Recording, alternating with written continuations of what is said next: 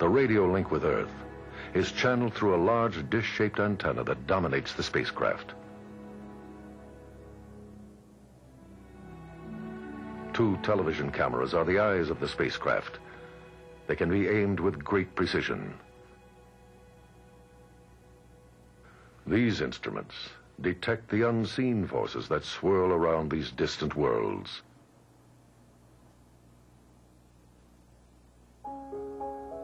September 18th, 1977. Voyager is seven million miles from Earth.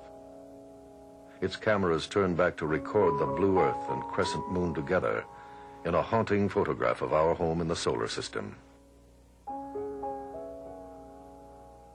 Fourteen months later, Voyager 1's cameras transmit the first photographs of Jupiter. February 5th, 1979. From a distance of more than 17 million miles, Jupiter and three of its moons are caught in a single frame.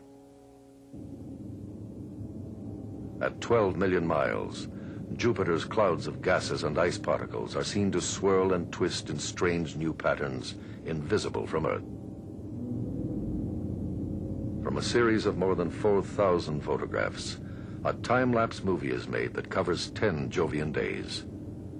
The atmosphere is more complex than had been thought.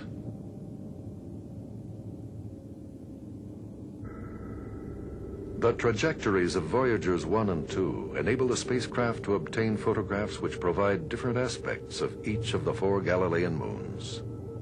Europa, the size of our moon, resembles a cracked billiard ball. But the complex markings are curiously flat, like stripes painted on the surface. Its icy crust is thought to float on an ocean melted by interior heat. Io is the most spectacular of the Jovian moons. Its vivid, mottled surface with oddly shaped blotches of color mystify the scientists. Surely the strangest object ever seen in our solar system.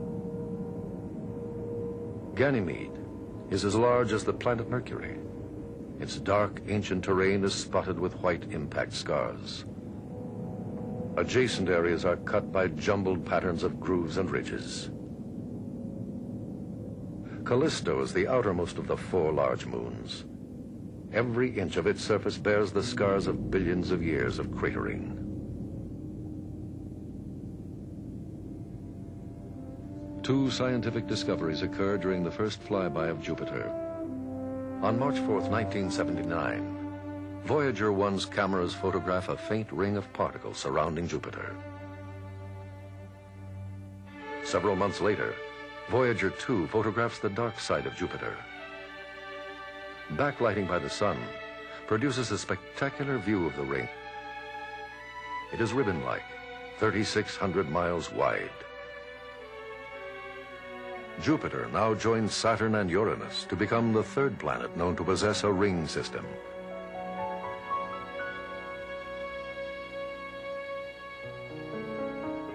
A second discovery solves the mysteries of Io's bizarre surface. On March 8, 1979, Voyager 1 takes a remarkable photograph of Io. During a routine study of optical navigation, an engineer sees what at first appears to be a crescent cloud. Scientists soon realize that it can only be a volcanic plume erupting from Io, a huge fountain of molten sulfur, gas, and bits of rock surging upward against the moon's weak gravity. A re-examination of Io photographs reveals other active volcanoes, It's the first seen beyond Earth.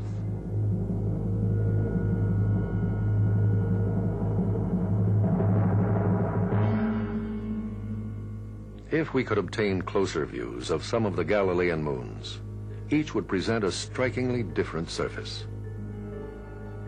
Through an artist's rendering, we approach Callisto, the moon most distant from Jupiter. Its surface is saturated with craters dating back to a torrential bombardment period four billion years ago. Although this is a dead world, its craters, for the scientist, are a record of the past history of the Jovian system. A great cataclysmic impact basin extends for a thousand miles. Since Callisto is half water ice, the basin, unable to hold its shape, slowly slumped back into the moon's crust until only traces of the surrounding ridges remain.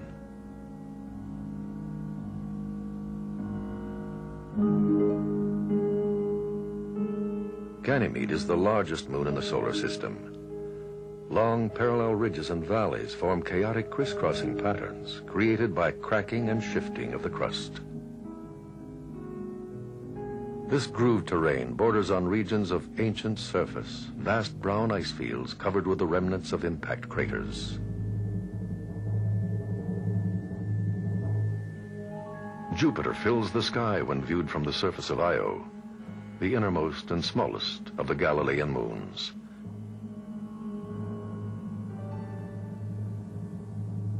Its bizarre colored surface is an ever-changing pattern of the vivid reds and yellows of frozen sulfur.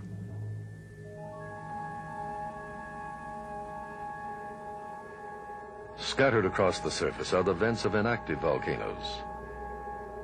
Many of the calderas are dark in color, filled with lakes of frozen black sulfur.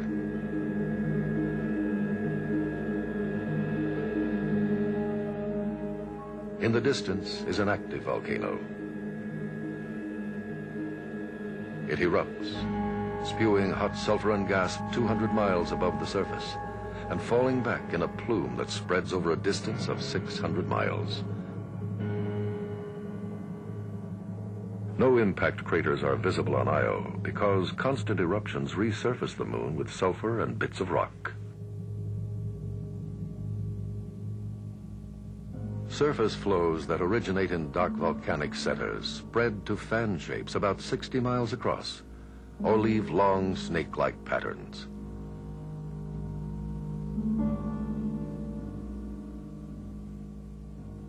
In the polar region are mountains several miles in height and regions that appear to be made of stacked layers of material.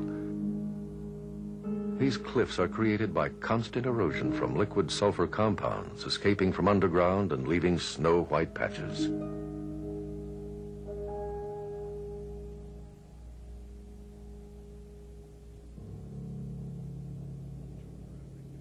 Jupiter has a huge magnetic field. The field would expand symmetrically in all directions if it were not impacted by the solar wind, a streaming flow of particles from the sun. A bow shock is created where the solar wind meets the magnetic field. Behind the bow shock, the field is warped and turned inward upon itself by the pressure of the wind. It is formed into a long tail that extends half a billion miles to the orbit of Saturn.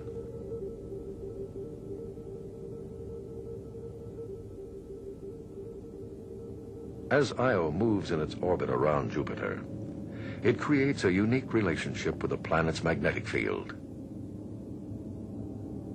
In this polar view, Jupiter, spinning on its axis every ten and a half hours, drags its magnetic field and trapped radiation with it. But Io's orbit is slower, 43 hours.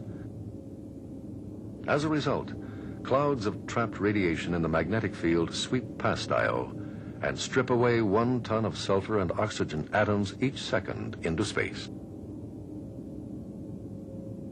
These atoms form a torus, a huge ring of electrically charged particles trapped by the magnetic field. An electrical current of 3 million amperes flows along magnetic field lines linking moon and planet. Torus material flattens the magnetic field and flows away from Jupiter to create the current sheet, a thin sheet of charged particles which distorts the field near the magnetic equator.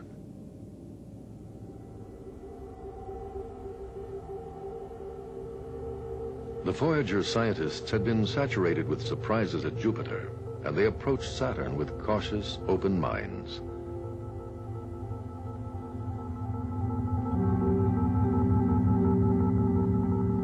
In this computer-generated